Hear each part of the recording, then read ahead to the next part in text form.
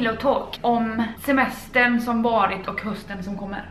Vad tycker du om semester här hemma i Sverige? Men jag känner, här hemma har inte jag någon semester. Det spelar ingen roll om jag är ledig, det blir aldrig semester för mig. Eh, semester för mig det är liksom mobilfri strand, kokosnötter, thaimat. Det är enda gången jag är på semester i Thailand. Men och då menar du när du liksom ligger still och inte gör någonting eller inte har någon kontakt med omvärlden? Ja, typ. För när jag är hemma så är jag alltid tillgänglig. Jag är förälder, tillgänglig för kunder och för medarbetare. Mailen plingar. Om vi åker till västkusten så har jag ett företag i Malmö. Mm. Ja, där är vi ju lite olika. Semester för mig är ju typ att så här, jobba hälften så mycket. Då tycker jag det är nice. Men då är man ledig bara. När jag är på semester så vill jag må bra. Och jag mår bra av att träna. Jo, men jag vill också träna. Men jag vill inte åka på träningsresa som semester. Jag blir stressad om det är för lugnt. Och blir Mm. lugn om det är liksom så här. Med det sagt så söker vi nya semesterpar. nej, men, nej, men vi, vi är ju faktiskt väldigt olika. Min drömresa är ju så här, om vi åker till typ Bora Bora så får man låsa in telefonerna. Bara det att om Melody ringer så går sen, får jag veta det. Ja. Det är det enda som är viktigt, att hon kan få tag på mig. Telefonen kan jag fimpa gärna. Jag är ganska less på det också. Jag skulle, alltså om du säger så här Bora Bora, en öde bungalow och så här inte en människa. man kan snorkla, man kan springa på stranden. Ja, men om det är helt stilla, det är så här. Jag kan inte andas då. Men det gillar jag också New York.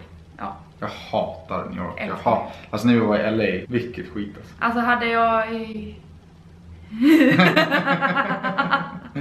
hade- hade jag varit ensam så hade jag nog velat bo i LA. För mig, det är som så här rika människor som äter ostron. Det är så här, man är rik och är så gott. Man är, ostron är så äckligt. Alltså, Alla vill bo i LA. Ingen vill bo i LA. Och jag har inte bott i USA och därför skulle jag vilja testa det. Och flytta då. ja, nej, sommaren det har varit mycket fest på oss. Jag har haft en, en festperiod. Det har jag egentligen nästan varje år tror jag. Jag är mycket för att träffa vänner och ha roligt. Det är ju väldigt viktigt för mig. Just nu är jag fruktansvärt trött på klubb och festa men jag vill gärna typ spela bowling och dricka tre öl. Där är vi ju också lite osynk. Jag tycker också om att festa men kanske en tredjedel av vad du tycker. Jag fick ju nog av sommarfesteriet för ganska länge sedan. Jag försöker typ så här bli en vanlig människa.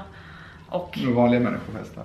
ja men det är det jag menar så här, om man tycker att det är nice att åka på semester och inte ha några rutiner och festa och så här. Men så Men här, jag- förlåt att jag avbryter, får jag prata?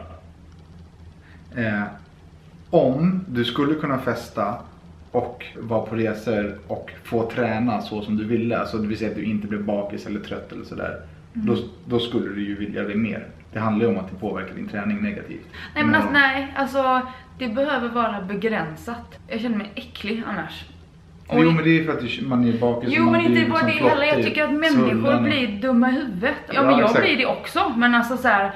Jag behöver liksom ha någon form av annat utbyte med människor också än att bara stå sluddra. Så fort man ska hitta på någonting så ska det festas och sen när folk har, har druckit tre grejer så blir de Men du tycker också att man festar om man dricker två, tre öl. Det kallar ju du för supa. Nej, ja alltså jag, där använder jag det slarvigt. Bara för att jag själv inte tar åt mig så, så bryr jag mig inte så mycket om vilket ord jag använder för att inta alkohol. Vissa kan ju liksom ändå behålla sig ganska skarpa även om de dricker men vissa bara vänder ju så här. När man har roligt när man festar, då har man ju roligt på riktigt. Liksom. Sen är det kanske en förvrängd rolighet, men man tycker att saker är roligt och festligt på ett helt annat sätt än, man, än när man är nykter. Ja, och det är väl så för att man alkohol inte- är en drog, man är ju påverkad. Jag super inte när jag har tråkigt. Det, det är inte sant. Nej nej nej. Jag, Jag super inte för att liksom... nej men jag, jag, jag, jag, nej det var inte så jag menade. Du behöver liksom så här slå dig fri lite. Du säger alltid att du är inne i ditt hamsterhjul. Jag tycker ju att, att måndag till fredag, det är ju liksom helvetet. Det lider man igenom för att kunna leva på helgen. Jag tycker ju inte det för att jag tycker att det jag jobbar med är roligt och jag, Jag kan... tycker att det är jättekul på mitt jobb också, men det är fortfarande helvetet. Det är måsten. Men jag tycker inte det. Jag, alltså jag tycker att vardagarna är lika härliga som Fast det är helgerna. inte sant. Det är många gånger som bara åh nu har jag kund- PT, nu måste jag gå och jobba. Så fort det blir måsten då blir det ju inte lika roligt. På helgerna finns det inga måsten. Nej men jag tycker inte som du. om jag har haft väldigt mycket att göra så kan jag tycka att det är asskönt att bara vara hemma. Men du känner ju att du behöver bryta dina vardagsrutiner på helgen. Det tror jag är mycket mer vanligt än att känna så som jag gör. Men sen har jag ju, jag är fri på ett annat sätt i mitt jobb. Alltså det känns som att jag jobbar och har semester alltid. Vi är ju rörande överens om att vi är helt olika i allt.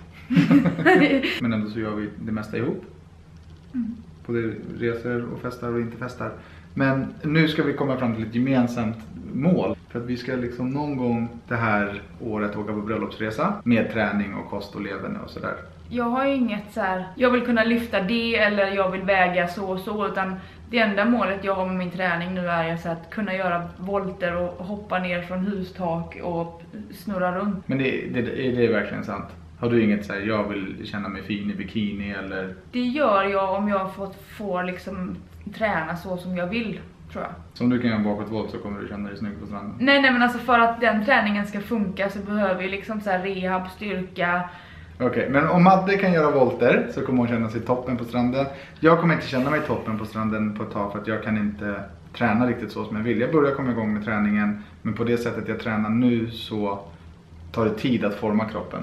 Plus att jag käkar glassbåtar varje dag. Men jag tänkte att vi skulle kunna dra ihop något så träningsavsnitt nu ganska snart. Och visa på lite hur vi tänker forma våra kroppar inför vår bröllopsresa. Om du fick välja tre ställen att åka på bröllopsresa till och vad du helst skulle göra där om du inte behövde ta hänsyn till mig, vad skulle det vara? Typ Jag där. skulle jättegärna åka till Bora Bora bara för att uppleva det.